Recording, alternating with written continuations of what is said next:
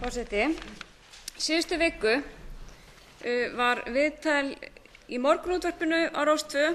Birna einarsdóttir bankastjóri íslandsbanka hún svaraði þeirri spurningu sem við erum að spyrja hér hvert svigrúmið sé.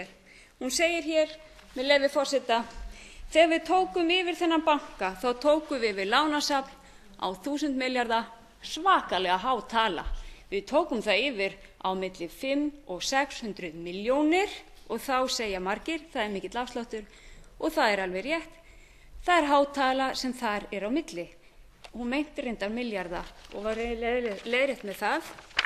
En þetta er svigrúmið sem þessi banki hefur. Og það eru ekkert aðrar formúlur í öðrum bönkum.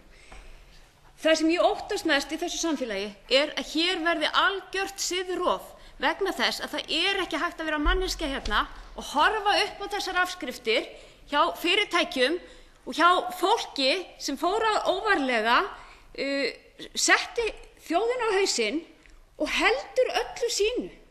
Og heldur öllu sínu. Það er ekki hægt að horfa upp á þetta og horfa svo í hinn áttina og sjá þá fjölskyldur velmenntað fólk sem vinnur allan sólarhingin og nær samt ekki endum saman. Vegna þess að lánin stökkbreyttust og það hafði ekki og það gerði ekki neitt. Það vissi ekki hvað verið í gangi og það gat ekki vitað og það var blekt og allur æfispartnaður lífeyrir þessa fólks var í þeirra fasteignum og, og sá hluti er nú gufaður upp.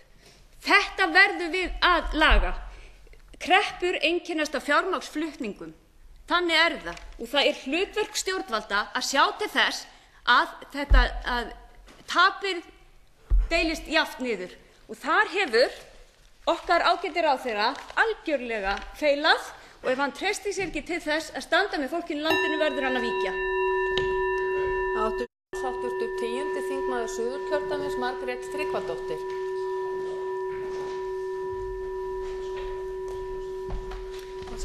ég vil bara ítreka það sem ég hef sagt hérna áður að bönkunum er alveg sama um okkur.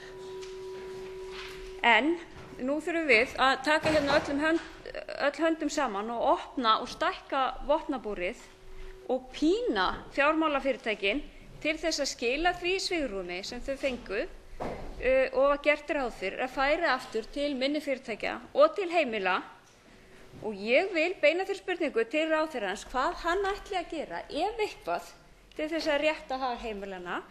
Því að nú er síðasti séns og það þýðir ekkert að benda á 110% leiðina en til þess að skilja hana þá þarf maður fyrst að skilja 100% leiðina og hún heitir á íslensku gjaldþrot